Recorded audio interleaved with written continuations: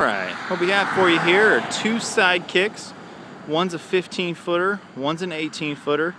Both have awnings, AC, refrigerator, microwave. Um, the refrigerator can run both off propane, electric, or even your 12 volt battery. Come included with propane tanks. Um, this The 15 footer has aluminum wheels. The 18 footer has the re regular stock wheels. Give you a quick look inside. The 15 footer has a porta potty that slides in and you could take it out to the woods and it has a little holding reservoir inside.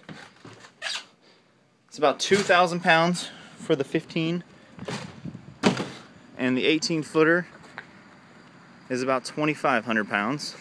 Take a quick look in the 18 footer.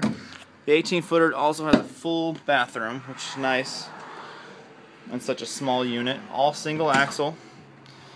Dinette folds down to a bed in both units. Also has a couch. These are 2008 models in perfect shape. If you would have any more questions about these units, feel free to give us a call 772 579 2978. Thank you.